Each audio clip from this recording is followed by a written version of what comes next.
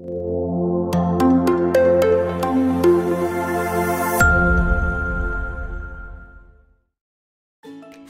vital tips for dog owners.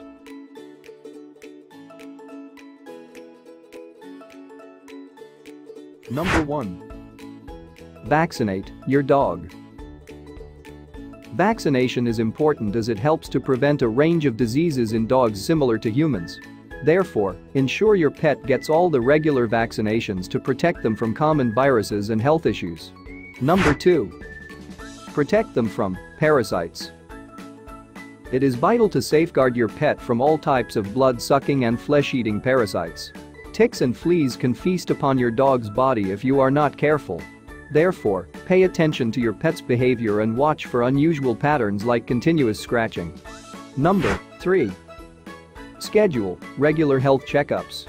We advise you to take your dog once every six months to a vet for a health checkup. This can help to detect any health issues early and treat them quickly so your dog can live a long and happy life. On top of that, constantly watch your dog's behavior and notice any signs of ill health so you can get it treated swiftly. Number 4. Neuter or spay your dog. Most dog experts and vets agree that it is important to spay or neuter a pet canine. This is because the procedure can help to prevent a host of problems. For one, it can reduce cancer risk in your pet and decrease their inclination to flee their home and get into troublesome situations outside. In addition, spaying or neutering is a responsible task to do as it can prevent your dog from breeding and producing litter that could end up in shelters or be rendered homeless.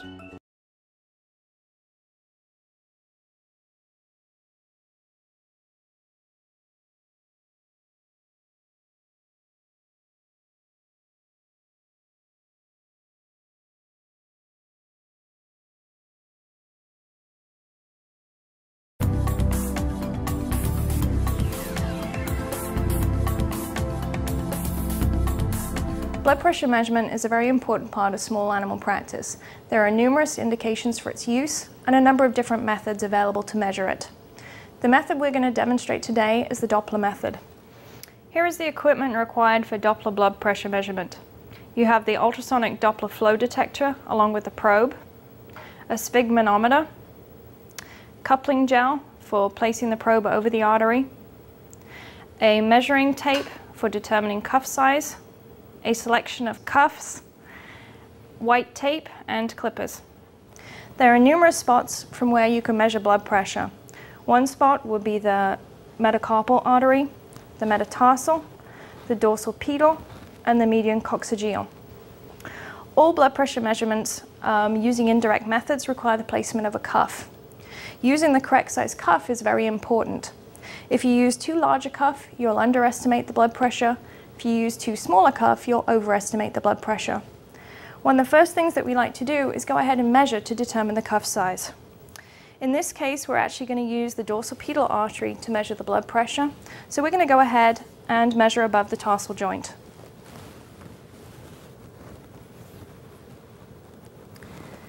What we are doing is measuring the circumference of the limb in centimeters. The measurement is about 13 centimeters in this dog. What we do is multiply this value by 0.4 to determine the cuff size. So in this case, the measurement comes out at 5.2 centimeters. Therefore, we're selecting a 5 centimeter cuff. If the measurement comes out in between, then it's best to err on the side of the larger cuff to minimize error. Once we've selected our cuff, we're going to go ahead and place it in position. It's usually best to secure this with a piece of white tape to avoid the cuff from popping off.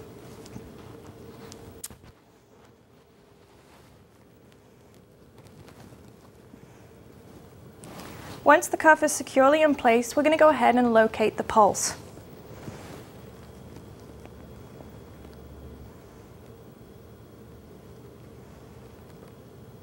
Once we've located the pulse, we're going to go ahead and shave a small area of fur above that location.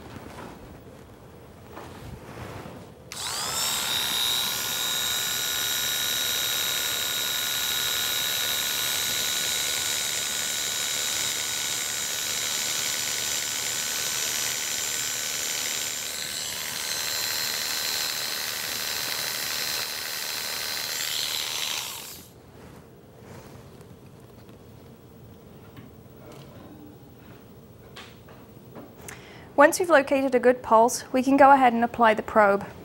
For this, we need to apply coupling gel to the concave surface of the probe. At this point, I'm going to turn the machine on so we can hear the artery pulsating. Sometimes the noise can be distracting to some animals, and you can use headphones to try and minimize the distraction to the animal. I'm now going to move the probe until I can locate the artery.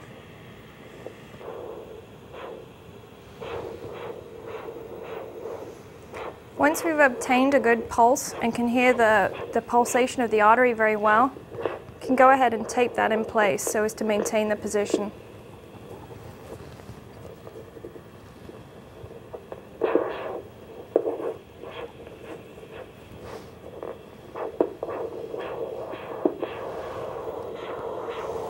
Once you have a good reading on the Doppler and you can hear the sound well, you can go ahead and connect the sphygmomanometer.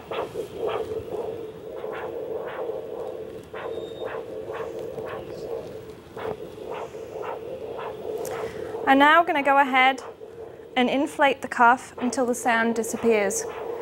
About 20 to 30 points past the sound disappearing.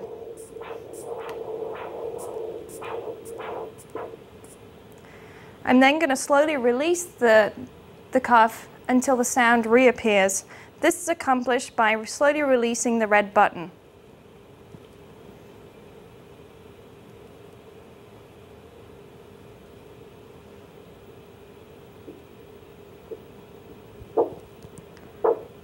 The point at which the sound returns is the systolic blood pressure, and in this case was at around about 115 millimeters of mercury.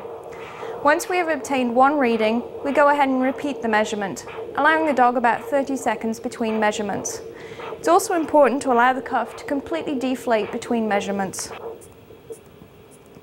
Again, we're inflating the cuff past the point where the sound disappears, then slowly deflating it by releasing the red button.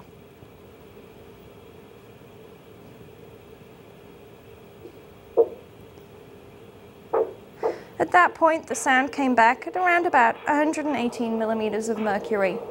We usually repeat this measurement at least 5 to 10 times to get an average reading. If there are any outliers, it's important to throw these out.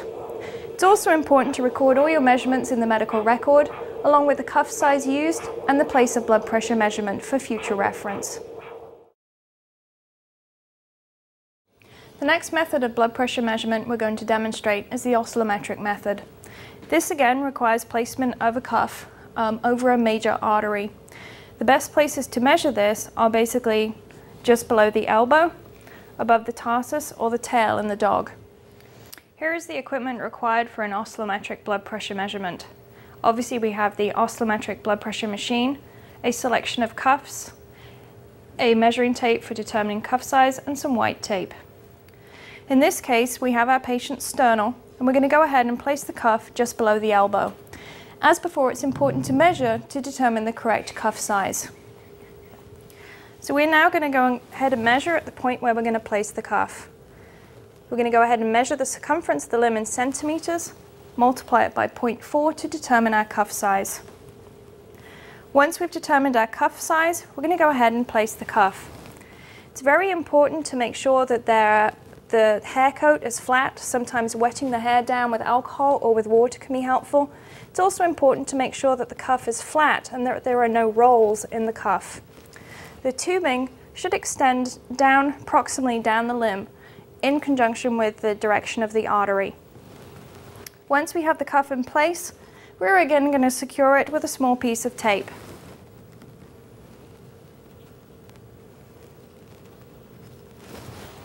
We're then going to go ahead and connect the oscillometric machine.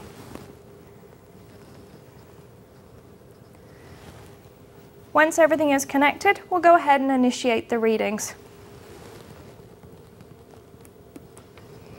It does take a period of time for the oscillometric machine to obtain its readings, but it does manage to obtain systolic, diastolic and mean blood pressures.